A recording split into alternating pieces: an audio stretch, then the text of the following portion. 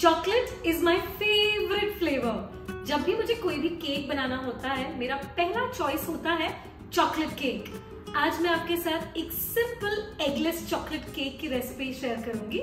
आप इस केक को कोई भी ओकेजन पे बना सकते हैं. तो चलिए, शुरुआत करते हैं. And I can promise you ये वीडियो देखने के बाद you are going to be a baking pro ये definitely one of the easiest and softest chocolate cake है.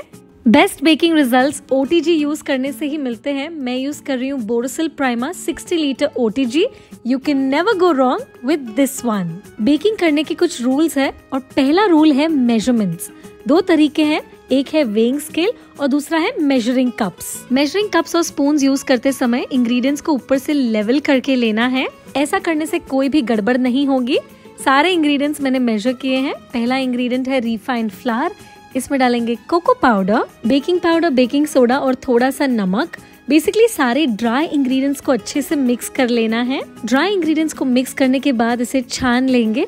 ऐसा करने से केक में एयर इनकॉर्पोरेट होती है एंड केक और भी ज़्यादा फ्लफी बनेगा। ड्राई इंग्रेडिएंट्स को रखेंगे साइड पे और अब जितने भी हमारे वेट इंग्रेडिएंट्स है, उसे मिक्स कर लेंगे। सबसे पहले मिक्सिंग बोल में लेना है दूध। इसमें डालेंगे दही वनीला एसेंस थोड़ी सी कॉफ़ी भी डालेंगे और पाउडर की हुई चीनी। इसे अच्छे से मिक्स कर लेना है। मैं एक हैंड बीटर यूज़ कर रही हूँ, लेकिन आप एक विस्क भी यूज़ कर सकते हैं। हैंड बीटर यूज़ करने से ये अच्छे से और काफ़ी आसानी से मिक्स हो जाएगा। इसमें डालेंगे मेल्ट किया हुआ बटर एंड ऑयल ये दोनों का कॉम्बिनेशन में यूज़ कर रही हूँ। बेकिंग का एक और रूल है और वो है प्री हीटिंग कम से कम 10 मिनट के लिए हमें अवन को प्री हीट करना है। बेस्ट होता है अगर आप वेट और ड्राई इंग्रेडिएंट्स मिक्स करने से पहले अवन को प्री हीट कर लें।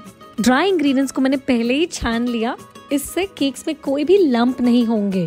ड्राई इंग्रेडिएंट्स को वेट इंग्रेडिएंट्स में डाल के इसे एक बार अच्छे से मिक्स करना है ताकि एकदम लंप फ्री स्मूथ बैटर तैयार हो जाए। एक और टिप, ध्यान रखें केक का बैटर ओवर मिक्स नहीं करना है। जैसे ही वेट और ड्राई इंग्रेडिएंट्स कंबाइन हो गए you have to stop mixing it cake tin को तैयार कर लें। इससे पहले मैंने अच्छे से ग्रीस किया है और नीचे बेकिंग पेपर लगाया है। केक बैटर को बेकिंग टिन में ट्रांसफ़र कर लेंगे और इसे अच्छे से लेवल कर लेना है। अवन ऑलरेडी प्री हीट हो गया है। एंड अब हम केक को बेक करेंगे।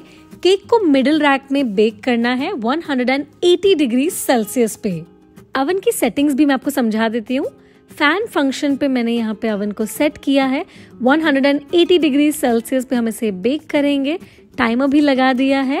एंड दोनों हीटिंग एलिमेंट्स ऑन रखने हैं। इस केक को बेक करने में मुझे करीबन 45 मिनट्स लगे हैं।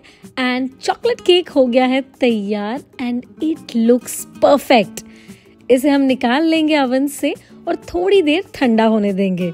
इसे चेक करने के लिए सेंटर में एक स्क्यूअर डालना है। अगर स्क्यूअर क्लीन आता है that means the cake has been perfectly baked इसे अनमोल्ड कर लेंगे। इसे हम वायर रैक पे ठंडा करेंगे। ठंडा होते समय इसे एक मसलिन क्लॉथ से कवर कर लेना है ताकि केक ड्राई ना हो। जब तक केक ठंडा हो रहा है, बनाते हैं विप्ड गनाश फ्रॉस्टिंग। एक बोल में सबसे पहले लेनी है चॉकलेट। मैं यूज़ कर रही हूँ डार्क चॉकलेट। चॉकलेट के ऊपर डालनी है बॉइलिंग हॉट क्रीम। और इसे अच्छे से मिक्स करना है। धीरे धीरे आप देखेंगे कि सारी की सारी चॉकलेट मेल्ट हो जाएगी एंड एक शाइनी सा गनाश तैयार हो जाएगा। इसे थोड़ी सी देर के लिए हम रेफ्रिजरेट करेंगे और उसके बाद इसे विप करना है। विप करने से ये जो गनाश है काफ़ी लाइट एंड एरी हो जाएगा। आप देख सकते हैं कि गनाश का कलर यहाँ पे चेंज हो गया है and it has become light इसका टेक्सचर भी काफ़ी फ्लफी हो गया है। हमारा केक ठंडा हो गया है।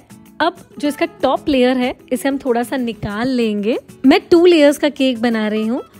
केक के साइड्स पे हल्का हल्का सा नाइफ से बस एक मार्क बनाना है। हम केक को कट करने के लिए एक थ्रेड यूज़ करेंगे। थ्रेड यूज़ करने से केक एकदम शार्पली और यूनिफॉर्मली कट होता है। सो so, एक थ्रेड यूज़ करें और उसको अंदर इस इस तरीके से जहाँ पे हमने कट किया है वहाँ पे डालें। और आसानी से केक कट हो जाएगा। किसी भी केक में मॉइस्टनेस आती है जब हम उसे सोक करते हैं। यहाँ पे मैंने एक शुगर सिरप लिया है और शुगर सिरप यूज़ करके केक को सोक करना है।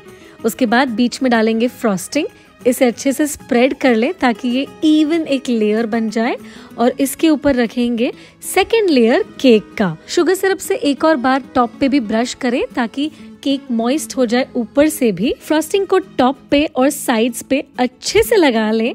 एक यूनिफॉर्म लेयर होना चाहिए, पूरा केक टॉप से और साइड से अच्छे से कवर हो जाना चाहिए। इस केक को एक फिनिश्ड लुक देने के लिए मेरे पास यहाँ पे है गरम पानी। गरम पानी में हम स्पैचुला को डिप करेंगे और इस तरीके से लेवल करना शुरू करें। साइड्स को भी लेवल कर दें। जो बची हुई फ्रॉस्टिंग थी, उसे मैंने एक पाइपिंग बैग में डाल दिया और इस तरीके से मैं केक को डेकोरेट कर रही हूँ। आप अपनी चॉइस के हिसाब से केक को डेकोरेट कर सकते हैं। मुझे चॉकलेट और मैंगो का कॉम्बिनेशन काफ़ी अच्छा लगता है। इसलिए टॉपिंग के लिए मैं इस पे डाल रही हूँ mango because it's also the mango season चलिए मैं आपको एक अच्छी सी टिप देती हूँ। यहाँ पे मेरे पास है व्हाइट चॉकलेट और एक पीला यूज़ करके इस तरीके से व्हाइट चॉकलेट के कर्ल्स तैयार कर लेने हैं। और इस कर्ल्स को हम यूज़ करेंगे केक की टॉपिंग के लिए। मिंट लीव्स यूज़ करके केक को गार्निश कर लें एंड चॉकलेट केक हो गया है तैयार। आसान था ना इसे बनाना? मैंने कहा था ना, चलिए केक को कट करते हैं and it is perfectly soft just look at that texture कितना परफेक्ट है ना? आई एम श्योर ये रेसिपी देखने के बाद even you are tempted to make this soon Borosil Prima 60 litre OTG को आप बाय कर सकते हैं www.myborosil.com पे। बेकिंग रिलेटेड अगर आपकी कोई भी क्वेरी सजेशंस या टिप्स हो तो आप उसे कमेंट बॉक्स में डाल सकते हैं। आई होप कि आज का ये वीडियो आपको पसंद आया और ये रेसिपी आप ज़रूर ट्राई करेंगे। इस रेसिपी को जल्द ही ट्राई करें एंड एंजॉय